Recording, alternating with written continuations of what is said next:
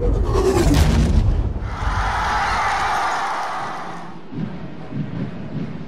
ปิดมาก็ติดแล้วครับสรัแอร์ฟอสเดียโก้ด้านในมีสมรัตเหมือนตาครับ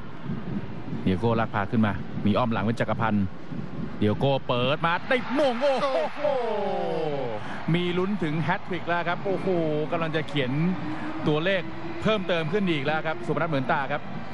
แล้วตอนนี้เนี่ยบุรีรัมย์เวลาบุกเข้ามานี่รอสุพนัทวิ่งเข้าที่อะครับครับ ดึงรอแล้วรออีกครับโลไปโลมาแล้วก็ทำได้นะครับ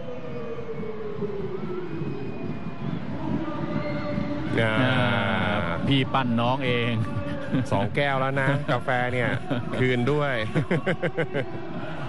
นิ่มๆเลยครับ แต่เกมรับของทางฝั่ง Air Force เองก็หลังจากโดนไปเยอะก็